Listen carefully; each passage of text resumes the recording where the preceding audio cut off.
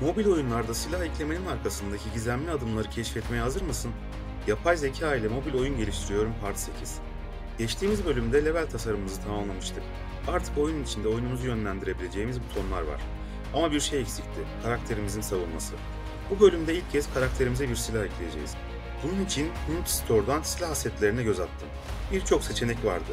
Peki hangisi oyunuma yakışırdı? Uzun bir incelemeden sonra tam aradığım silahı buldum ve oyuna import ettim. Silahın karakterin elimde doğru konumda görünmesi için ayarlamalar yaptım. Ve sonunda karakterimiz artık elinde bir silahla oyun içinde. Ama silah eklemek yetmez. Ateş mekanizmasını kurmak şart. Bunun için oyuna bir mermi ekledim ve çıkış noktasını ayarladım. Artık karakterimiz ateş edebiliyor. Peki bir sonraki adım ne olacak dersin? Eğer bana destek olmak istersen kanalıma abone olup videoyu beğenebilirsin. Ayrıca daha önce yapay zeka ile geliştirmiş olduğum Force 4 adlı mobil oyunu Play Store'dan indirebilirsin. Part 9'da görüşmek üzere.